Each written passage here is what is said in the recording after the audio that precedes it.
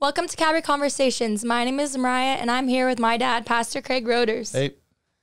Today we have two very special guests with us in studio, so I'm going to introduce them. First, we have Laura Pedersen, and Hello. she is with 40 Days for Life. So, Laura, can you share a little bit of who you are and why are you here? well, uh, I'm here because you asked me to be here. Yes. Um, I am a registered nurse, um, primarily in obstetrics, and um, just felt compelled to start getting involved in the pro life ministry. And um, I've worked in with pregnant teenagers for 21 years, supporting them in our Tucson community to help them have healthy outcomes.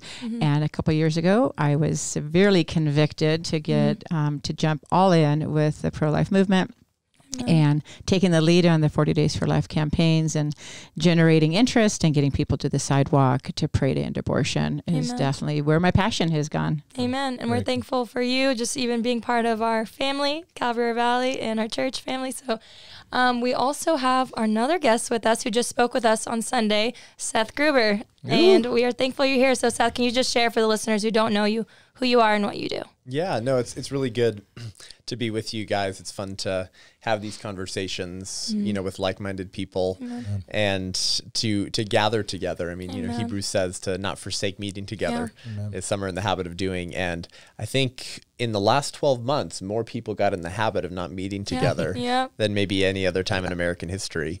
And uh, that failure to to heed the that warning in Hebrews has has you know led to a lot of damage, Yeah. Mhm. and that's certainly true on the issue of abortion, which is mm-hmm. sort of my lane. Mm-hmm. Because uh, if the church can't even bother to gather together, can't even mm-hmm. bother to get off the couch and stop live stream worshiping, Yeah. Yeah. and gather with embodied and souled individuals together, how in the world could they rally together to get outside in the hot sun outside of abortion clinics and plead for the life of the orphan? Yeah. So we've embraced a very comfortable, cush um, Christianity, which Bonhoeffer might call cheap grace. Uh, right? He said cheap, uh, cheap grace is grace without discipleship, grace without confession, grace without absolution, grace without Jesus Christ. In short, it's a it's a Christ created in your own image. And so all of that to say, it's awesome to to gather together with with believers um, who who see the same truth, right? I mean, that's what C.S. Lewis said friendship was, and two friends see the same truth and kind of say amen together and delight in those truths. And and what truth is more beautiful or great than the prenatal God who entered human history in a womb that He once knit together and takes on fetal flesh. So when Christ says he identifies with us, we do not have a high priest who cannot sympathize with our weaknesses, but was tested in every way that we were, yet without sin. Well, that that God identified with us from the prenatal stage. He became a zygote, an embryo, a fetus, therefore declaring forever that life is sacred in the womb. And so that's why I care about the life issue. I care about it because these are image bearers of God. And they dwell in a location that we safely dwelt, at least most of us. Now, uh, a woman who was here this morning after I preached is actually an abortion survivor. And, and she came by today and she works with the Abortion Survivors Network, uh, my friend Melissa Ohden's ministry. And Melissa Ohden survived a saline abortion in the 70s um, and was essentially um, burned in the womb because saline is the salt solution that would burn babies. It's they don't. It's illegal now to do saline salt abortions, but she survived that abortion over a five day period and was born alive and survived and found out later that she was an abortion survivor as a teenager from her adopted parents and now connects abortion survivors all around the country. Um, but f- with the exception of the abortion survivors in our midst, and there's actually a lot more than you know, Yeah. um, all of us dwelled safely in these wombs. Yeah. And we, so I, I, you know, we have what I like to call born privilege. You know, we talk about white privilege, right? Yeah, like privilege. systems of oppression. And you're participating, Craig, in a system of oppression. Wait, wh- what, what are you talking about, Seth? I, I, I'm not racist. I have black friends. I, I mean, I love, I love God's creation, regardless of their. No, no, Craig, you participate in systems of oppression simply because of your skin color. And I find that so hilarious. And we don't have time to jump into everything that's wrong with critical race theory, but um, I just find that so funny because the very people who say that participate in the system of oppression called abortion. You want to talk about systemic injustice? All right, let's talk about systemic injustice. The only form of systemic injustice today is abortion because it literally denies natural rights mm-hmm. to an entire subset of the human species because they differ from the elite class who has a vested interest in dehumanizing and murdering them. I mean, that's systemic oppression. so you have born privilege if you're pro life or pro choice because your mother didn't kill you, Yeah. and yet you can't even bother to speak out against babies who are being killed in the womb.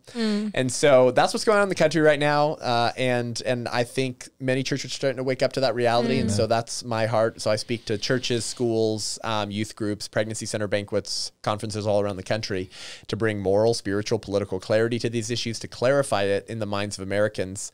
And listen, words, words, words, all that's important. At the end of the day, I just use words to point people back to reality, to try to bring clarity to seemingly complex debates so that it demands action. Um, I don't want to be one of those public speakers that just like has a lot of cool crap to say. and because I can I can talk about a lot of stuff and sound really cool, Yeah. you should pay me money to speak. I don't want to Yeah. be that person. I want to be someone who brings clarity through words because reality tends to be self-evident. Yep. That's why our founder said we hold these truths to be self-evident. self-evident that all men are created equal and they're endowed by their creator with certain inalienable rights. That among these are life, liberty, and the pursuit of happiness. And of course, our Constitution would say, and property. Mm. Well, you know, if you don't get the right to life right, you won't get any other rights None. right. And mm. those should be self-evident Yeah. because your mother didn't abort you, pro-choicer, and I'm glad you're here. The right to life should be self-evident, but it's not. And that's because of decades of pro-choice propaganda, largely in our educational system, sometimes from American pulpits, mm. that is uh, that is propagandizing the next generation with a certain vision of the good life. And for mm. them, that good life must entail the right to kill their own preborn children so you can pursue your quality of life.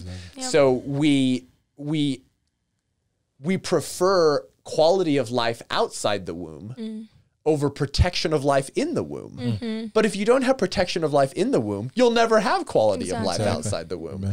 And I think those things are self evident. But that's because this is what God's called me to. This is all I speak about. For a lot of people, that is not self evident. Mm. So bringing that clarity to people because confusion leads to apathy. It's If something is not clear in your mind and you're like, I'm really confused by the issue, Yeah. even pro lifers who come up to me and they say, I'm pro life, but what about rape? What about life of the mother?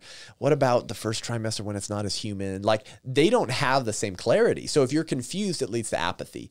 But but moral clarity demands responsibility. Mm, yep. And at the end of the day, that's that's all I try to do. So I, I'm grateful for you, Pastor Craig, and, and your leadership and team here to say, you know, we're going to fight on the front lines um, for these children who are more vulnerable and defenseless Yeah. than any other victim. And there are a lot of victims, but none more so than the preborn. Amen. And I love that, like you were talking this morning, and if you guys haven't seen it, you can go back on our YouTube and watch that.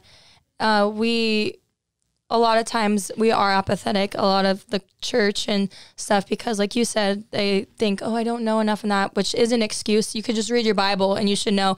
But I love how you said we can't just have confession. We need to prove it with resistance and action. So, Laura, you had some questions, so we'll just throw questions at you, Seth, and you can answer them. But one of them was talking about the sidewalk, and a lot of people are confused like, what does that look like? What do I do? Because they hear that they can do things, but they don't know how that would fit in their, Right. like you say, their cush lives. And so we're trying to push all of us, like what you did this morning, firing us up. But we don't want to just, like we always say, we don't want to just have like a revival, a woo woo, like exciting meeting. and then, like, what were we excited about? What do we do? Like, we need the practical steps. So, Laura, do you want to read Yeah, that that's good. question? And then, So um, I'm just obviously as somebody who is supporting the 40 Days for Life campaign, which is going to the sidewalk to pray to end abortion. Um, I'm just curious what your thoughts were in related to people um, who are outside the abortion clinic, whether they're praying and holding, doing the peaceful prayer vigil, which is what 40 Days for Life is about, versus those that may have those graphic signs of aborted fetuses, um, and you know that they might be more vocal about what's going on at the sidewalk. Um, because there's a lot of negativity related to people being at the sidewalk. I used to be one of those people, you know, being like, oh, they're wasting their time holding up their signs or standing out there saying they're praying. Um, but, you know, is there a place for both? Or is there a different place that Yeah. some of those things can be can be mm-hmm. happening that would Yeah. be more impactful. Yeah, good question. Well, I, I certainly won't claim to speak for the pro life movement because there's a lot of disagreement in the pro life mm-hmm. movement on the mm-hmm. question you just asked. Mm. In fact, I would go so far as to say more people in the pro life movement are opposed to holding graphic abortion signs mm. outside of pregnancy, uh, outside of abortion clinics than are in support of doing that. Mm. So I'm on the other side, and here's why. Because many men and women who are seeking an abortion have really hardened their hearts hmm.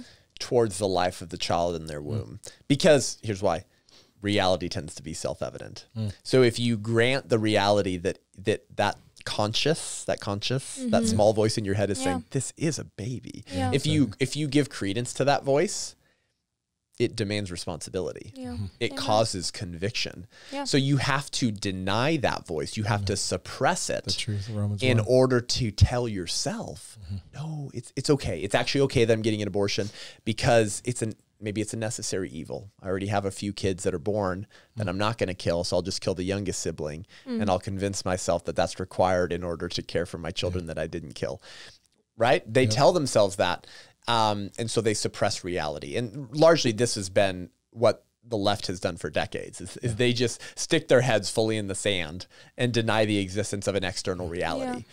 Um, and that and that's why the underlying worldview assumption of secular liberalism is relativism, the, the belief that there is no objective truth or standard we're all beholden to. We invent our own truth. Uh, so how dare you tell me not to kill the preborn child because I've defined them out of existence because that's my truth, right? So, so all that to say, many men and women who walk into abortion centers have hardened their hearts mm. Yeah. towards the preborn. Now, many of them are scared and freaked out, which means they're more likely to accept the help of Christians. But mm-hmm. there is a, a significant number of guys who walk into these killing centers who they're going to walk right by those pro-lifers outside on the sidewalk and they don't want to hear anything from them because they, they're like, "No, I, I have to get this abortion. I cannot have mm. this child. Mm. So is prenatal imagery going to reach that woman? Maybe. Is a sign that says it's a baby going to reach that woman? Maybe. I'm support of all of that, by the way. I'm not saying we shouldn't do any of that. Amen. Go for it. But hasn't, hasn't the stats say like the sonograms has really helped? Totally, But, because yeah, it so you humanizes a see it, child. yeah. Here's the thing, though: some men and women are so hard-hearted that nothing short of a picture that shows them what they're about to do Hmm. to their child will suffice to change their mind. Yeah. Well, So- the, like the video you showed, uh, really, Yeah. I mean, I brought a tear to my eye. I think I heard a lot of Yeah, people crying. yeah. So, I mean, we need to say, and I think someone once brought a, a baby to the Congress or Senate, I don't know what, and they got in trouble huge because no one wanted to see it. But, you know, we, that imagery, when you see those little hands, and I mean, I think hopefully we can show that video on here.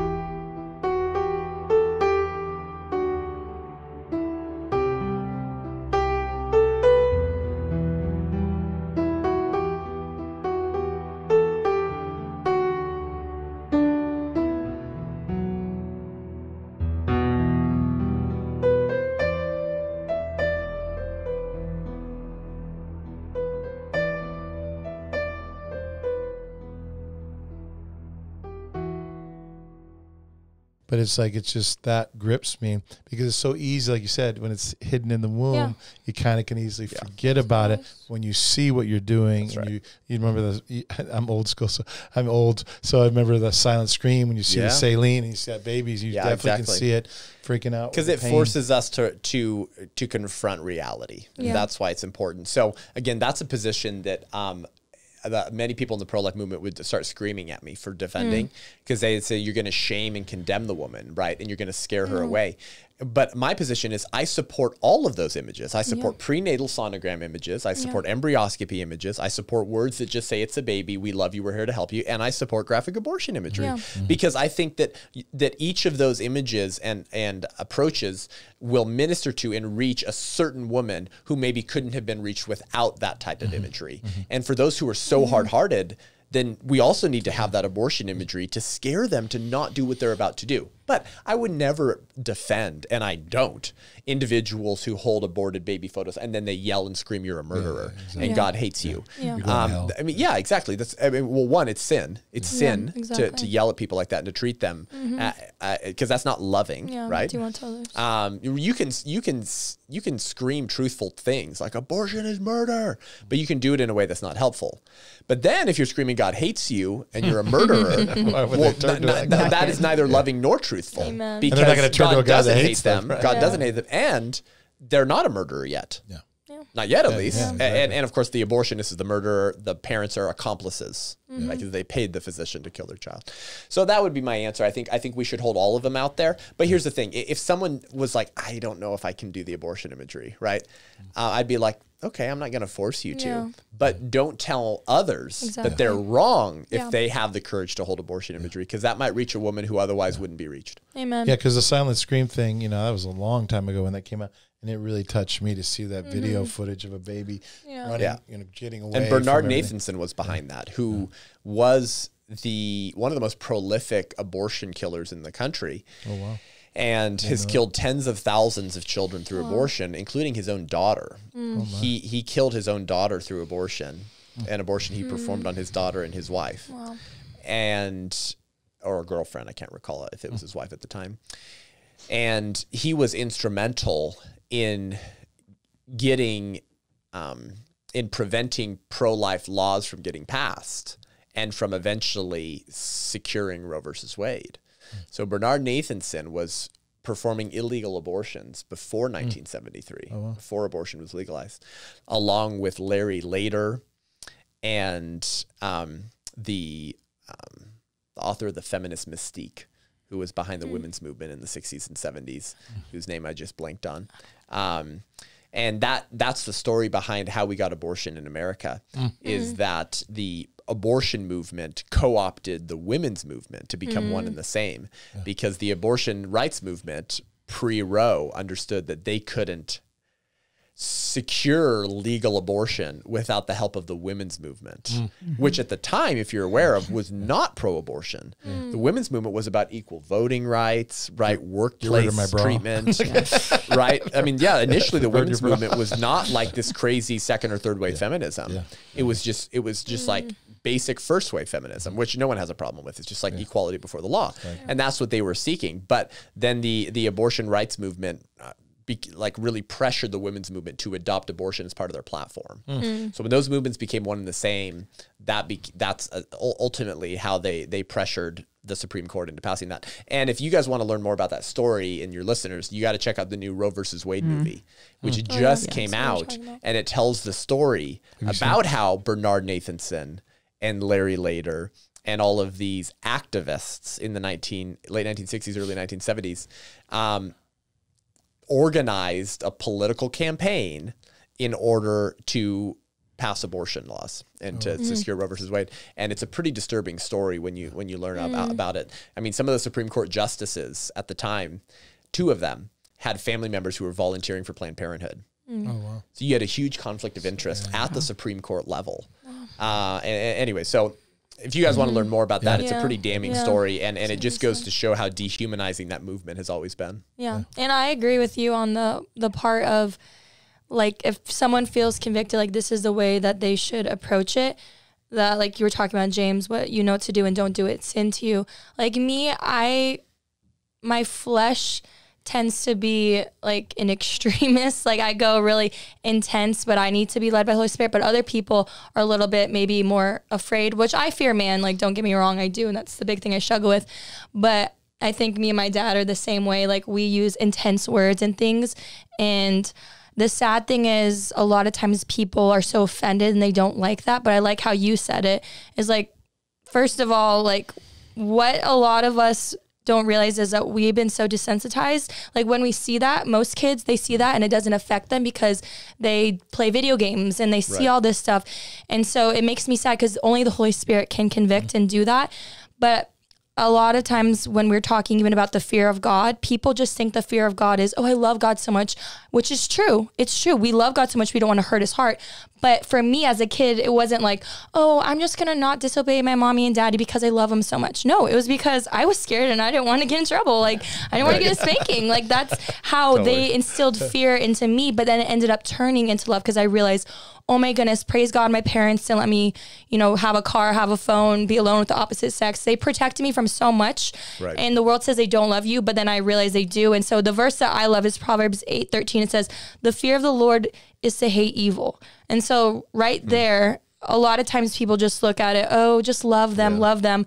But sometimes we need to show them these intense things because there's a lot of people who have heart in the heart, like Pharaoh. Even their, his son died, and yet he still hmm. goes against that. So um, Yeah, the it's church needs to wake up, and we know that. But Laura, there's another question, the second one about the church and what I we ask- can I want do. to ask something about the church. Yeah, and then we, So Seth, what do you think about you were saying how a lot Mm-hmm. of churches don't like your message, right? It's they're woke churches or they're kind of Yeah. politically correct churches.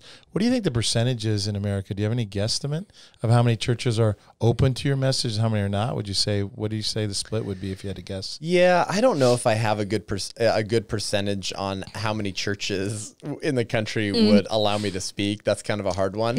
um, but um, I I saw a study um, recently about the number of churches that had an active pro life ministry, um, and it was a Pew Research Center analysis from 2019 that found that just 4% of sermons shared on U.S. church websites in the spring of 2019 discussed abortion even once.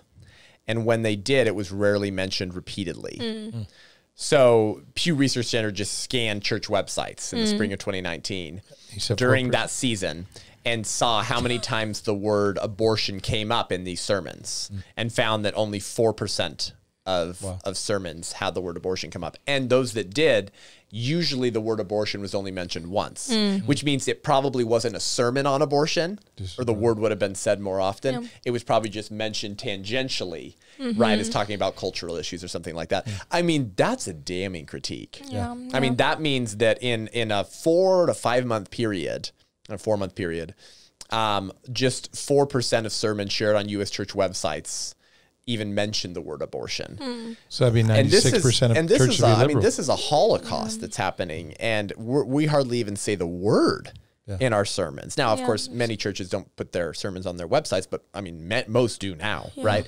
So that was a pretty large sample size. And I think why that's important, Craig, actually, is because the spring of 2019, that was when they did this, that was right after the winter of 2019, which go, mm. when does winter end? It goes through February or January, February. Yeah, So February. what what was happening in January of 2019? Well, if you recall, New York legalized mm. abortion through point of birth. oh, that's mm. right. And they lit up the tower pink in Oh, New that's York. City to Yeah. celebrate abortion. It should have been lit up red to represent the blood of unborn children that Andrew Cuomo oversees and celebrates in his state. And then you had Ralph Northam in Virginia to, uh, with his own Reproductive Health Act, which legalized mm. abortion through point of birth in Virginia. That's mm. partic- particularly sick because Ralph Northam mm. is a former pediatrician. Oh, so, so much for caring for Yeah. children. And he was asked on a radio show in 2019, what would you do in a situation where a child was born alive during a botched abortion? And he said, and I quote, Well, I'd tell you what we'd do. We'd deliver the baby, we'd make the baby comfortable, we'd resuscitate the baby if that's what the mother wanted. Mm. And then the mother and the doctor would have a conversation hmm. A- about what, Ralph Northam, you sick freak?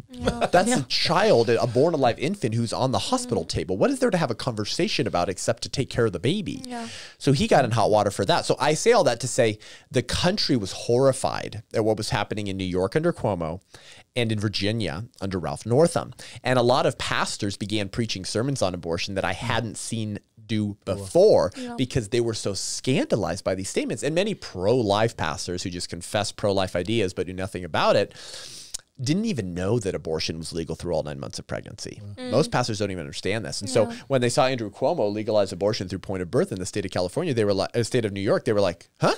That's not, you can't do that. And I'm like, oh gosh, guys, yes, you can. I've been trying to tell you.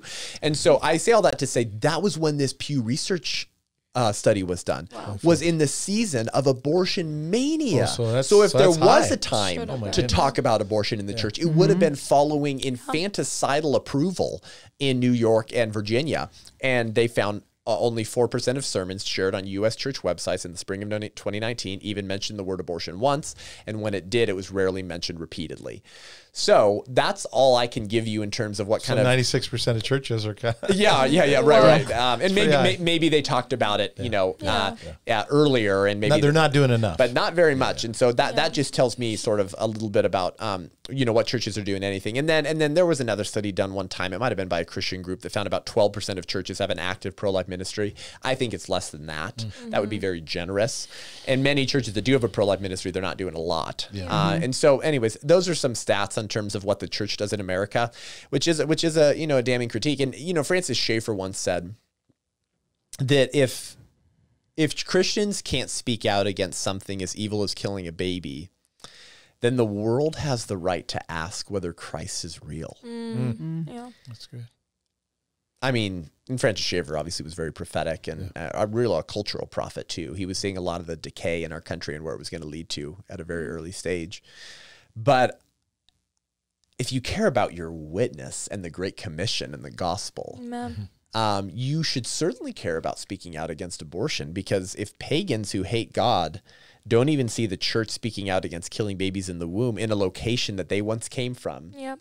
and that their savior once dwelled in, how could you expect the world to ex- uh, respect your credibility Yeah. to Yeah. even preach that gospel? Amen. Exactly. Because your silence on abortion is a form of consent. Yep. And, and this is what Proverbs 24, 11 through 12 says. It says, Hold back those staggering towards slaughter. And if you say, We did not know about this, God, Proverbs says, Does not he who made your life know it? Mm-hmm. Yeah. Does not he who made your heart see it? Mm. And will he not judge man according to what he has done? In other words, if innocent people are being led to the slaughter and you won't intervene to hold them back, and then you justify your apathy by saying, I, did, I didn't know, God. God knows that you know Amen. because he sees your heart and you're going to be judged according to your apathy, according to your consent in that evil. Did you ever see the movie? I don't know if you, it's a pretty intense movie, but we were soldiers. And remember in, mm. that, in that camp, they said, "How did you?" How did, the soldiers got angry at the town and said, "How did I forget what town it was? But how did you not know it was a death camp right outside? How did you not know?" And people said, "We didn't know. We didn't. Wow. We didn't know what the smoke coming out." I'm going to go and rewatch. it. I think I might watched it crazy. years Yeah. ago, but now you It just was wild, inspired but me they to go were rewatch it. yelling. The Yeah. sol- a lot of the soldiers were yelling at them. Why? How did you let this atrocity happen five miles or three Yeah. miles away or Yeah. two They miles from you? want I to don't know. Well, that's the Levite and the priest, right? Yeah. The mm-hmm. parable of the Good Didn't want to Samaritan. know. Yeah. Yep. Yep. They knew there was a bleeding victim on the side of the road, and they went out of their way to walk by on the other Too side. busy. And I like what you said. Like I live, it's kind of neat to see someone I, I, you know, like a young prophet like yourself, in the sense of, you know, we prophet like ooh prophesy, but I mean to be bold because, you know, I'm I'm kind of an old jerk, so it's kind of. I thought you were young- 29. I'm 29. Yeah, I just I, I dye my hair gray to be cool, you know. Yeah. But uh, but it's really cool how Jesus said, you know, woe to you when all men speak well of you, like they did the false prophets. And isn't that weird how we try to everyone love us or like what we say? When Jesus says, you know, if you're going to speak the truth, it's going to offend people that, like you said, have hardened their hearts or trying to justify blatant sin. And we need to quit worrying about, you know, I shouldn't, I think we, you would say this, that we don't want to purposely offend people, but we should not be offended by speaking the truth to Amen. people that are doing horrendous things. We should be able to say, "Hey, we love you. That is why we speak the truth." I mean, people have said that to me, Craig. You're uh, this one. We, I will say, it's uh, this girl that I know. She was just the sweetest girl ever, but she sleep with her boyfriend blatantly, and everyone knew it. And I so they called her sweet somebody, and I called her smelly somebody, and she got so bad at me.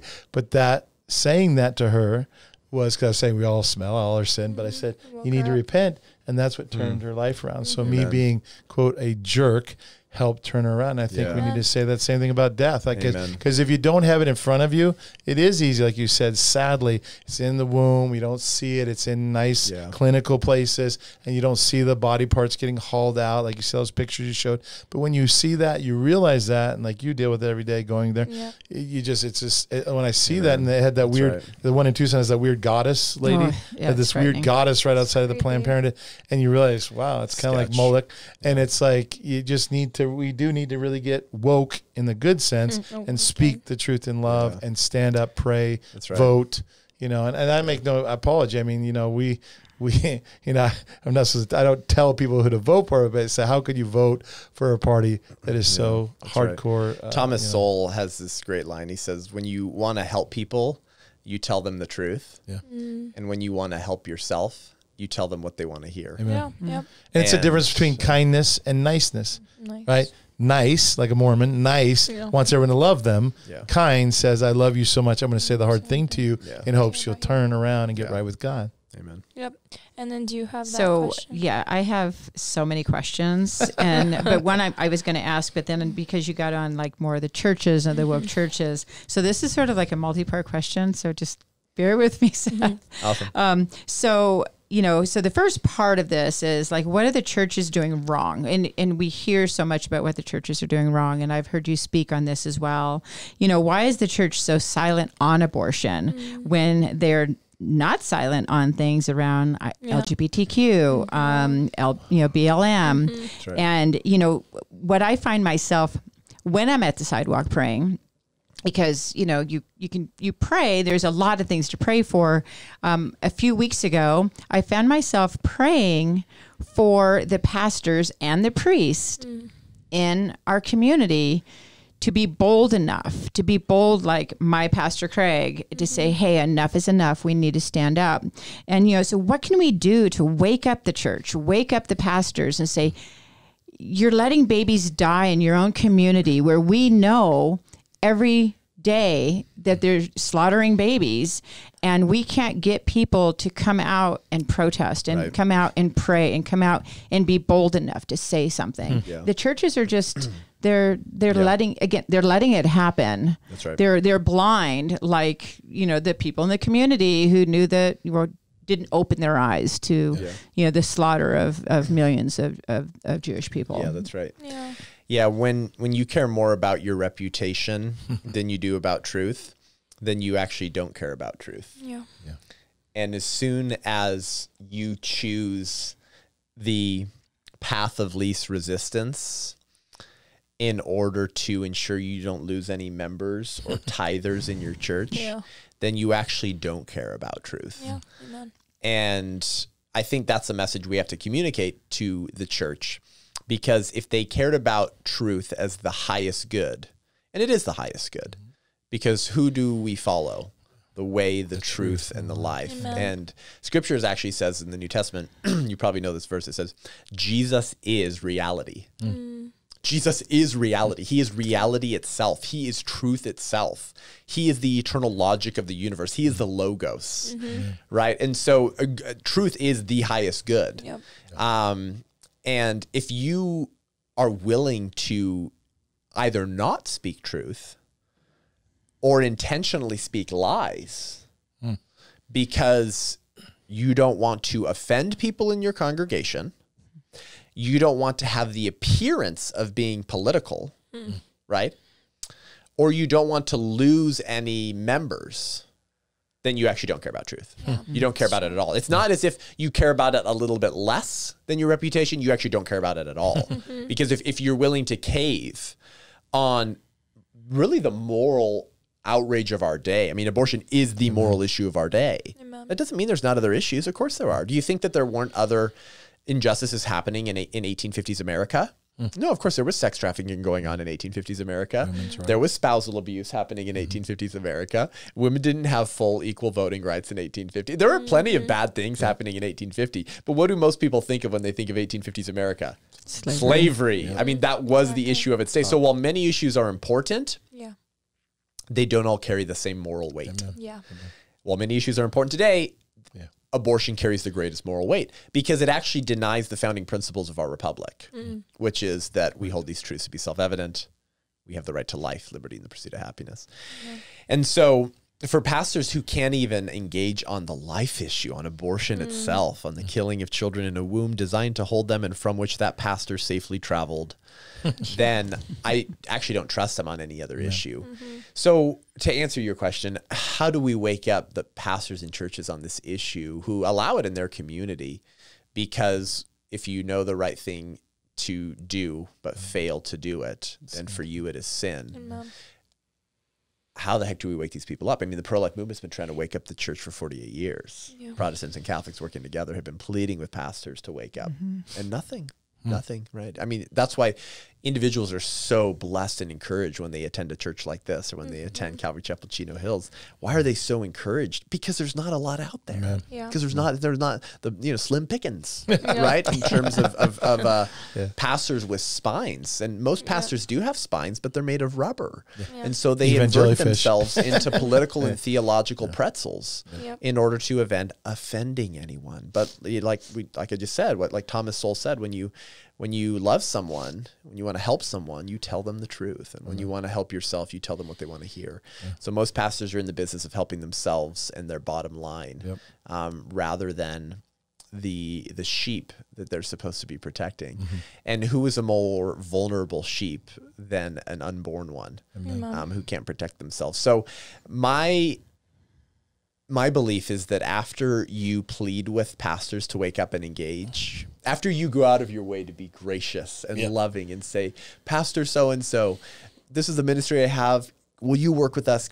Can we? Can you just give me a table in the mm-hmm. foyer after church? I'm not even asking to be able to speak. Can I just like engage with your people? Hey, can you green light a pro life ministry that I'll run at the church? Can you just green light it and talk about it from the pulpit? I, you don't have to give me the speaking opportunity. Just like, can you talk about it and let people know what we're doing? Um, can you preach against it on Sanctity of Human Life Sunday? Can you ask people to sign up for sidewalk counselors to stand outside the doors of death and we'll do the training with them to save these babies? If you go out of your way to do this and these pastors continue to say no to you and shut you down over and over and over again, Bounce. my belief at that point is is that now you're fully justified in in taking the Bonhoeffer approach and saying you're not confessing the real Christ. Amen. Because that's why Bonhoeffer called themselves a confessing church, was to say we're actually confessing real Christianity. Yeah. Yeah. And the rest of you who are who are silent on the genocide of the Jews, or you're condoning it from your pulpits, you've actually created a Christ in your own image. Um, and so I actually at that point support um, kind of taking the Pauline approach, which is to say, if a brother sins against you, you take it to him. If he doesn't listen, you bring two others. If he doesn't listen, you take it before the church. If he doesn't repent, you treat him as a pagan and a tax, Tax collector. collector, Now, obviously, I know someone might say, Seth, you got your you got your hermeneutic wrong there. That was about that was about brothers sinning against one another, conflict re- resolution. Okay, sure, maybe it's not exactly the same, but if one knows the right thing to do and fails to do it, then for Yeah. you to sin, so that is a form of sin, and you're condoning abortion through your silence. Your silence is deafeningly loud, um, and so now if you, if you're going to condone that through your apathy, then then you're complicit in it. Um, then I would, and again, this you know, people are gonna hate this. Then I think you hold aborted baby photo signs outside of their church. Okay, now now people are go, okay, Seth, I hate you now. You're never gonna speak in my church. But then you know, I just I like to challenge people to just like to apply the beliefs that they hold on abortion and apply it to infanticide or the killing of toddlers. Yeah. I like to ask pastors to do that because then I want to test to see if they're consistent. Mm-hmm. Because if the unborn is fully human, here's the thing, then they have just as much dignity and rights as the infant, the one year old, and the two year old. Because our human rights flow from a human nature. Not from our functions and capacities. Amen. Mm-hmm. So, if our right to life flows from a human nature, then the question becomes when do we get a human nature? Yeah. Mm-hmm. uh, when we become human. And when do we become human? The moment of conception. So if the child in the womb is f- has full dignity and rights as any born person from the moment of conception, then it's only it's only reasonable to say that they deserve the same protection in our laws. Mm-hmm. So if they deserve the same protection in our laws, I like to ask pastors who won't do anything or very little on abortion if they would take the same approach if Planned Parenthood opened an infanticidal arm of their business mm. with the legalization of that practice and our tax dollars funding it.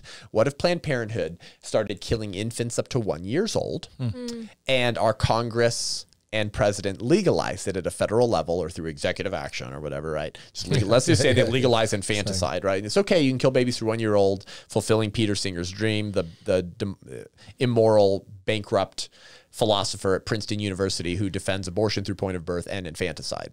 Um, okay, Pastor. Now here's my question to you. Infanticide is now legal in your community. There are two facilities in your city that perform abortions through point of birth, and they will kill your infant as long as that infant is under 365 days outside of the womb. Um, and you fund it with your tax dollars. So here's my question for you, Pastor. Um, what what what do you think we should do about that? um, do you think we should you should preach an anti-infanticide sermon once a year? Or do you think what would you do? I'm just curious. And if if any pastor is honest, he's usually not with me because he doesn't want to grant my premise. Because if he grants the premise, then he has to admit that he has the same responsibility to the preborn as he does to the born. So most pastors that I've challenged with this, I've done on social media, and so they they they they won't actually engage with me. But I think if they're honest, and I think you and every listener on this show would agree, mm. every pastor, if he's honest, would say, yeah, our church would be would be um, protesting in the streets. We'd be marching, and we'd be we'd we'd probably create human blockades, um, arm in arm outside of these centers, and try to stop women from taking their one year olds in. Yeah. Maybe we even try to pull the one year old out of her Yeah, arms and run run away with away. it. Yeah, exactly. Because you can't do the same thing on abortion, right? You can't mm-hmm. like cut open her, her you know, womb and take it out. I'm- mm-hmm. But I'm saying I'm applying a moral premise, Exactly. a moral premise in in this thought experiment to see how people would respond. So whatever the pastor's response would be on the legalization of the killing of one year olds. It's not the same on abortion. We obviously know that. Mm-hmm. And so what he's done is he's actually granted a premise to the to the high priest of secular progressivism, um, which is that these children are not fully human and they don't deserve the same dignity. Because if you believe they did, Pastor, you would require the same protections for them as you do for infants. And so then I'd say, um, what if a pastor said, "Yeah, we don't that you know infanticide, guys. That's a political issue.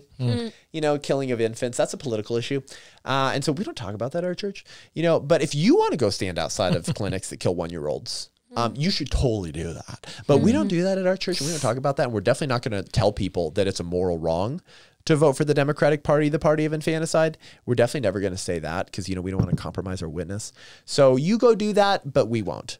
Then my question would be: Do you think it would be wrong, Christian pastor, to hold photos of the one-year-olds whose bodies we found in the trash can mm. behind Planned hmm. Parenthood after they were killed, and hold photos of those children outside of his office when he mm. comes in to prep his sermon Saturday night, hmm. or hold them outside of his church on Sunday with the words, um, uh, "Pastor Tom supports this." Hmm. And I think most people, they might get uncomfortable that I would say that, but I think I could get most Christians, just normal conservative Christians, right? Who are who who are just kind of like pro life by attitude, but don't do anything about it. I think I could get most pro life Fired Christians up. to say totally. Mm-hmm. I, I think you're right, Seth. I think if a mm-hmm. pastor ki- condones the killing of one year olds in his community, and and actually looks you in the face and says you can't launch an anti-infanticidal ministry at our church and I won't tell people to do anything to stop it. I think most Christians would say, yeah, I would actually stand with you, Seth, on that church on mm-hmm. Sunday morning on the sidewalks as people drive in with photos of murdered infants so that those congregants know that their pastor supports the killing of one year olds. Amen. So, assuming everything I said is true and that someone would support that in my infanticidal thought experiment, why wouldn't they support the same action on abortion? Yeah, hmm. it's good. And if they don't, do you know what that actually tells me? You don't believe the unborn child is intrinsically valuable enough to warrant political protection. Mm-hmm, mm-hmm. And I also think it's sad because that's what Satan loves to do. He loves to hide things, he likes to put in the darkness. And so Exactly. That's, we know he's disguised himself as an angel of light. So he loves that it's not being talked about, like you were saying. He loves it when we don't show the pictures, we don't do all that stuff. But Laura, you had a Yeah, I wanna- I question wanna say something about. real quick. I gotta say something. Yes. But I like what Charlie said when he was here, Charlie Kirk. Mm-hmm. He said, if you go to your pastor, you say, hey, we want to get involved. Yeah. They say, we don't do that. He says, then you should go find a church that does support Amen. pro life. And you should say, and we should vote with our feet. Like you said, if we start Amen.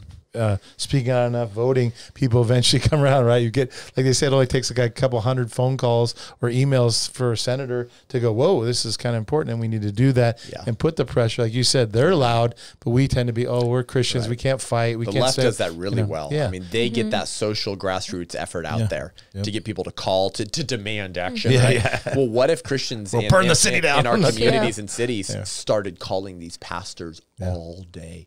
What if he couldn't? What if he couldn't phone finish banks. his sermon prep? Yeah. because he was getting calls from faithful Christians in his county, like every time he goes back to prep his sermon, Mm. saying like. You don't speak on pro life. You won't even allow the 40 Days for Life coordinator to partner with your church to get people out to save children. What kind of church are you? What kind of pastor are you? Can you imagine how a pastor would be? Okay, I have to do something just for selfish reasons because I don't want to be perceived as Now I'm gonna And lose the then people I'm trying to prayer would be that that would lead him to real repentance. Yeah. That he wouldn't just be changing out of response to demands for action, but he would be doing so because God would actually break his A heart. good idea. Our um, youth youth group kids love to prank call, so they can just start calling. That's a, a good ministry. I'll start that up. Yeah, I just want to touch Pro life franking. step in there real All quick bastards. about again the um, the churches, the the priest and pastors not stepping up. When I first got involved with 40 Days and stepped up and said, "Okay, I can help lead this," um, I had a co-leader who was Catholic, and he, and he was going to be leading through the Catholic Church, and I was going to hit the non-Catholic churches. Um, and so we were like, okay, let's make a list of all the churches that we need to approach and say, hey, we're going to do this and we're going to bring 40 Days for Life back to our community. And we were told we had to get a certain list um, that had a listing of all the Catholic churches, and half of them we were not allowed to approach because they would not be open and they would basically throw us out on our ears. And I was shocked because I've always you know, seeing the Catholic Church is extremely pro life, and to find out about half of the ones in our community um, would never allow. Um, well, they probably wouldn't allow me in the door since I'm not Catholic, but even our Catholic, um, you know, co-leader, it'd allow him in the door to promote this, and I was shocked. Yeah. And then, and then to realize, well, we have um, obviously probably that many, if not more, evangelical churches, Protestant churches that would also not be welcoming Yep. to me coming in. And I love the idea of getting a group of of um, faithful volunteers out there with those signs saying your mm-hmm. pastor supports mm-hmm. the mm-hmm. killing of babies, and that is so frightening. That's right. It is so frightening. I know the very first time I went to the sidewalk to pray, I was shaking in my boots and I was so frightened. And I realized that, you know, God just protected me and everything was good. And Yeah. and I've been bl- so blessed from that experience. But I don't know, standing out on the street corner at especially some of the previous churches I've attended, Right. ooh, that's, you know, but, you know, we have to be bold if we're going to help save right. babies' lives. Amen. Amen. Um, but I do have I do have another question for you. Of course, I do, um, and it's really about our tax dollars. So, yeah, I, and I just saw something just recently because you know, obviously, I, I everything about about um, ending abortion, saving babies' lives. I'm just like immersed in that online, and you know, watching all the podcasts and all that. Right. Um, but basically, is there it really is there anything at all that pro-lifers can do? And I know I sort of know the answer to this, but I have to ask anyway.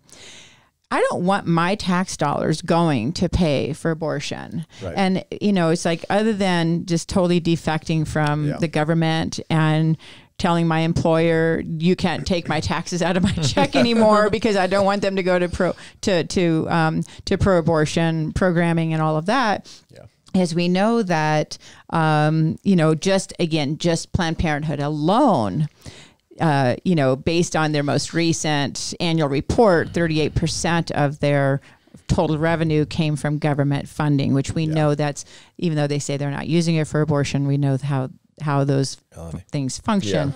You know so what is there anything we can do from the pro-life perspective Yeah. to say you can't use my tax dollars to pay to kill babies Yeah. Yeah. Obtain political power and wield it. Amen. Mm-hmm. Amen. So Vote. the, Especially the Republicans and the GOP has been. I mean, I have a lot I could say about the GOP. Obviously, I'm a Republican, but Mm-hmm. um, you know that doesn't mean that there's not a lot of reform that needs to happen in, in the GOP. And here's here's the number one thing, um, and it's actually the same true it's the same critique I have with the church. Right, the left will more passionately do for evil. Um, what we will seemingly not do for good. And the same thing is true politically. The Democratic Party will more passionately and consistently do for evil what the GOP seemingly can't do for good. And we we we've got this this frankly stupid um, sort of libertarian idea in the GOP that just says, you know, to each his own, right? And if we wield political power um, to try to defund Planned Parenthood, or if we wield political power when we have it to say that you can't castrate children, either literally or with chemically in, uh, castration, castrating drugs, because mm. Timmy played with a doll one time and thinks that he's Sally mm. now. If we pass laws against that, you know, then the Democrats might say, you can't go to church. Mm. And they'll wield political power and say, you can't go to church. Yeah, they're already saying that. Yeah, They've yeah. been saying that for the last 14 months. Mm-hmm.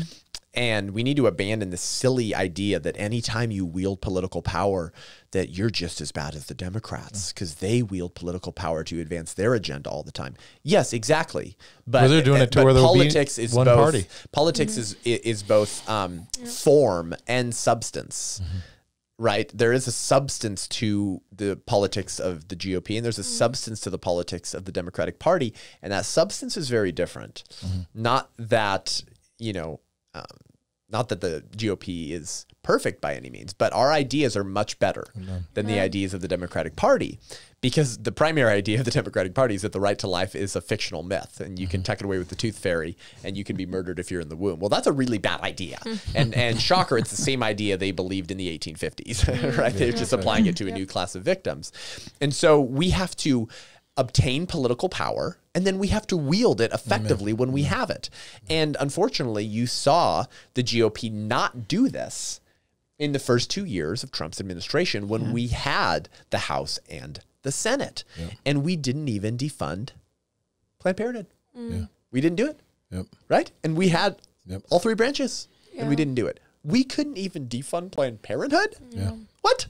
That's not even like mm. that's not even like a, making it illegal. That's just saying, you know, any organization that kills children shouldn't receive tax dollars. And then Democrats say, yeah, but the Hyde Amendment, the Hyde Amendment, right? It keeps your federal dollars from mm-hmm. funding abortions. Um, specifically, specifically putting it in an abortion uh, budget. It's mm. like, yeah, but money's fungible. Mm-hmm. Money's fungible. So Planned Parenthood, I believe last year got over six hundred thousand mm. federal dollars Wow. over 600 grand, right? But then they say, just earmark it for not abortions, okay? It's like, okay, dude. Yeah, like, they're if if that. if Craig wants an Xbox, you know, and a uh, digital camera, but he only you only have 200 bucks and then i give you 200 bucks and now you have 400 bucks which 200 did you spend on the digital camera? I don't know. I freed you up to get both right? It's like what? So we give planned parenthood all this cash from our tax dollars and then we tell them but don't use it for Yeah. abortions Like okay It's like, well, that. what? Yeah. and so we are funding them through our tax dollars. The Hyde Amendment just says that federal dollars can't be used directly um, to for abortions uh, reimbursed through Medicaid, right?